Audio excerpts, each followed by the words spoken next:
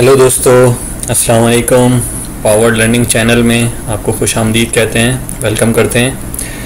तो इस चैनल में हम आपको डीजल जनरेटर की मुकम्मल तालीम और तरबियत देंगे। इंशाल्लाह पूरी इसकी ट्रेनिंग लर्निंग जितने भी इलेक्ट्रिक पावर सिस्टम है डीजल जनरेटर है कंट्रोल सिस्टम है प्रैक्टिकल ट्रेनिंग होगी बिल्कुल, जो आपको किसी स्कूल में नहीं दी गई। हम चाहते हैं कि आपको ट्रेन करें और आप एक अच्छा रोज़गार हासिल कर सकें। तो आज हमारा टॉपिक है कि हम आपको जनरेटर के कंट्रोलर की प्रोग्रामिंग का सॉफ्टवेयर है उसका ओवरव्यू देंगे इसका चैप्टर वन आज स्टार्ट करेंगे हम ठीक है? और उसके बाद मज़ीद चैप्टर इसके स्टार्ट करेंगे। तो आज चैप्टर वन में हम डीप सी कंट्रोलर की हम्म, जो सॉफ्टवेयर है उसको देखेंगे। तो चलें बिस्मिल्लाह करते हैं इसको ओपन करके देखते हैं। तो ये हमने पहले से इसको खोल के रखा हुआ था नीचे। तो ये देखें आप, सबसे पहले आपको ऊपर right hand left hand corner पे फ़ाइल दिख रहा है टूल्स हेल्प और उसके नीचे है जी new open save print and then इधर है write to module read from module ठीक है सर अभी हमारे पास कोई मॉड्यूल कनेक्ट नहीं है तो इसलिए ये राइट टू मॉड्यूल ऑफ़ दिख रहा है। और read to read from module इसलिए ऑन है, लेकिन ये कभी कुछ भी आपको कनेक्ट नहीं है तो इस वजह से। जब तक हम यहाँ पे यूएसबी कनेक्शन करेंगे तो यहाँ पे फ़ौरन ये दिखाएगा कि क्या चीज़ कनेक्ट हुई है। ठीक है, अभी देखें कह रहा है नो डिवाइस डिटेक्टेड तो अभी इसके लिए इसके अंदर क्या क्या होता है? फ़ाइल में आप देख लें जी। फ़ाइल में न्यू फ़ाइल ओपन करनी है अगर आपने कोई तो आप इसको यहाँ से जाके सारे मॉड्यूल्स हैं इसके, आप उसको देख सकते हैं। ठीक है जी। रिसेंट में अगर कोई आपके पास सेफ़ पड़ी हुई है तो आप उनको भी देख सकते हैं।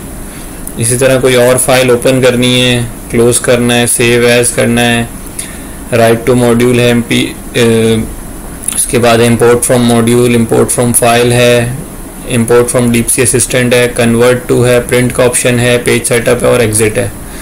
आ, इसके बाद आ जाते हैं हम टूल्स में टूल्स में ऑप्शन में।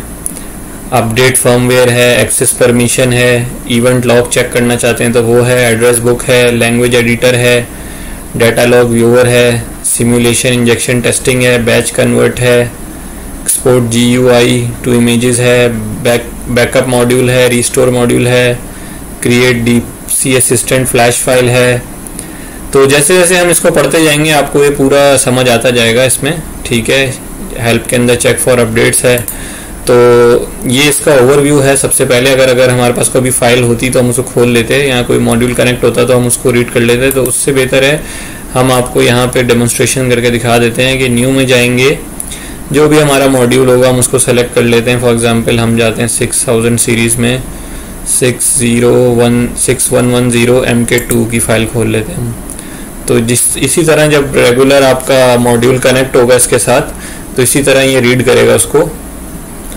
तो ये देखें ज़रा। अब ये लोडिंग कर रहा है इसको।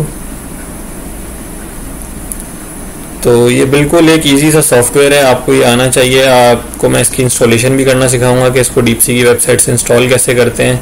और इन वेरी सुन एक मॉड्यूल ला के आपको कनेक्ट करके दिखाऊँगा। देखें, ये देखें कनेक्ट होने के बाद ये कुछ इस तरह दिखेगा।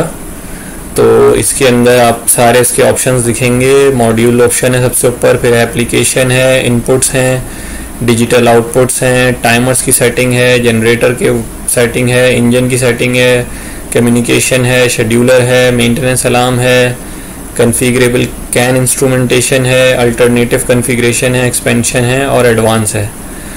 तो आई होप कि आपको ये वीडियो अच्छी लगी होगी और अगर आपके कोई भी सवाल हैं तो हम आपको उसका ज़रूर रिप्लाई करेंगे। तो काइंडली इस चैनल को आप लाइक करें सब्सक्राइब करें और शेयर करें। और मज़ीद इस पर हम वीडियोज़ बनाएँगे, आपको पूरी ट्रेनिंग देंगे इसकी, स्टेप बाय स्टेप। तो आज के लिए इतना ही काफ़ी है। तो थैंक यू वेरी मच अल्लाह हाफिज़।